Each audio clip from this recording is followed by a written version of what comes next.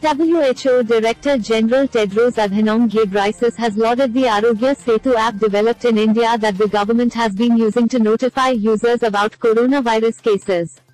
Tedros said the Aarogya Setu app has helped Indian health authorities identify coronavirus clusters and expand testing in those areas.